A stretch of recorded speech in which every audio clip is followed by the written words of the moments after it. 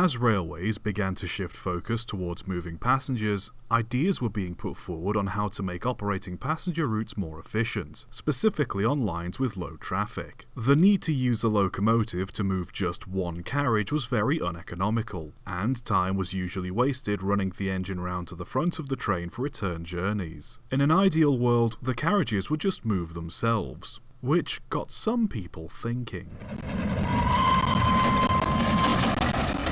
Why not just put a small steam engine in the carriage so it can move on its own? Possibly the first example of a self-propelled carriage, or railcar, ever built was designed in 1847 for the Eastern Counties Railway. Essentially all it was was a carriage with a vertical boiler and set of driving wheels bolted to the front. While it did function as intended, the design was never picked up or further pursued as it was awkward to operate. Several other designs were built and tested between 1880 and 1900 in Germany, Switzerland, Austria-Hungary and Australia, but these too didn't last very long, owing to lackluster performance. While the concept itself was sound, nobody took particular interest in railcar designs until the early 1900s, when tramways started to use compact steam locomotives to operate services around urban areas before changing to electric. With the demand for transport increasing, railway companies wanted a cost-effective way of being able to operate low-traffic passenger lines so they could compete with tramways, and as such turned their attention back to rail motors. On paper, they were perfect for lower traffic routes as they were compact and could be driven from both ends, making them easier to drive and saving on infrastructure. On a busy day, an extra carriage could be added to help increase passenger capacity. The rail cars used on the Great Western Railway were also compatible with their auto coaches, allowing the driver to drive from either carriage without an issue. On top of this, they could stop anywhere to let people on and off, saving the need for dedicated stations and staff, with the guard on board selling tickets. Rail motors were mostly operated in the UK, However, they were built and used in Africa, Australia, Japan, Brazil, India, the US, France, Egypt, and more. While they were ideal for the low traffic lines they usually operated on, they quickly fell out of favour with many of the railways that used them. To start, they were significantly more awkward to maintain compared to a standard locomotive and carriage setup. Not only were steam locomotives harder and messier to maintain, but because the carriage and the engine were one combined unit, it meant that the carriage would be unusable during during servicing and repairs. Not to mention how hard it was to keep the interior of the passenger compartments clean while clearing out the engine and filling them with coal. Servicing also had to be carried out in carriage sheds as locomotive sheds weren't designed to accommodate them. This not only made it more awkward to maintain them, but also ended up with coal, dust and ash from the engine making the other carriages it was stored alongside dirty too. On top of this, despite rail motors being able to stop for passengers more frequently, they still couldn't couldn't compete with tramways in this respect in urban areas. Not only that, but each rail motor required a three-man crew, driver, fireman and guard, while most competing tramways only needed one person to operate a tram. But the biggest problem most steam rail motors suffered from was their overall lack of power. Their boilers had to be quite small to fit within the carriage frames and couldn't be replaced with bigger ones without taking up more passenger space. As a result, many designs were unable to handle pulling any additional carriages or goods wagons, significantly limiting their versatility. This was especially a problem on market days or public holidays when an increase in traffic was expected.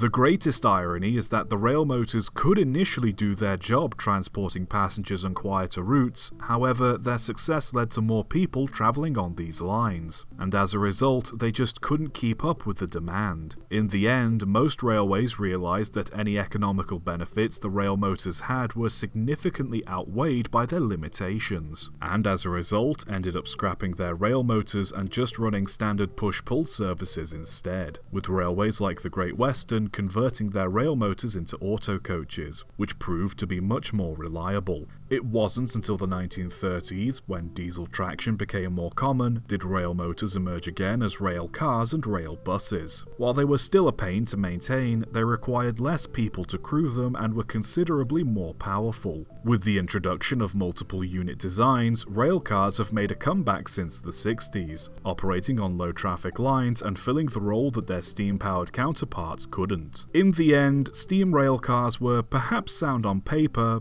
but not in practice. Since the concept of a self-propelled carriage has proved itself to be both functional and economical in recent times, steam rail motors then are a textbook example that not all ideas are bad, it's just the technology might not quite be there to pull it off. Subscribe for more.